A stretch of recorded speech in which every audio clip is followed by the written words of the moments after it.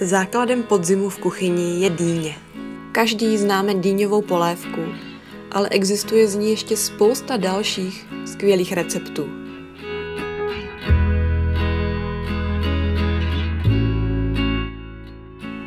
Základem většiny receptů, ať už slaných či sladkých, je dýňové pyré. A to si připravíme jednoduše. A v případě velké úrody dýní se dá udělat ve velkém, zamrazit a pak už jen podle potřeby vyndavat z mrazáku. Dýni oloupeme, odstraníme semínka, která si ale ponecháme na později. Nakrájíme ji na větší kostičky a dáme do trouby předehráté na 180 stupňů. Takhle nakrájené dýni stačí zhruba 30 minut, než bude úplně měkká.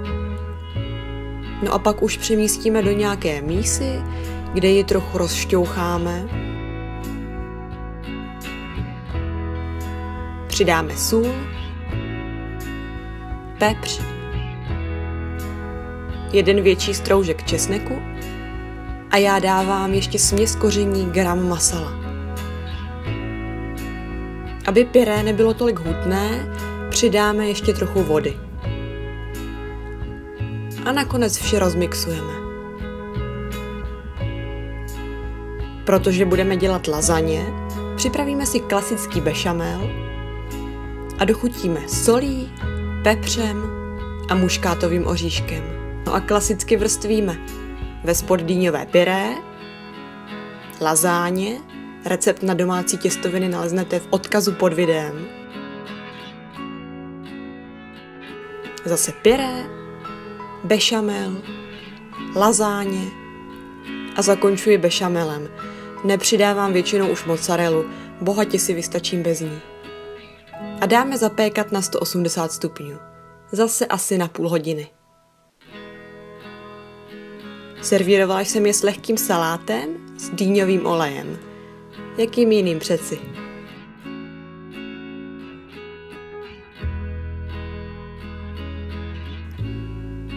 No a pokud vám nějaké pyré z dýně zbyde, jednoduše si ho namažte na pečivo, nebo z něj udělejte jednohubky. Funguje totiž i jako výborná pomazánka. Fantazii se meze nekladou.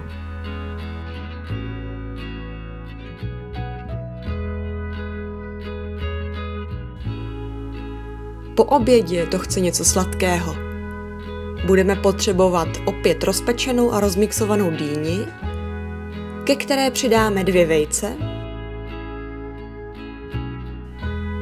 80 ml vody, 120 ml nějakého rostlinného oleje, jako sladidlo jsem použila 3 lžíce medu a vše důkladně rozmíchejte.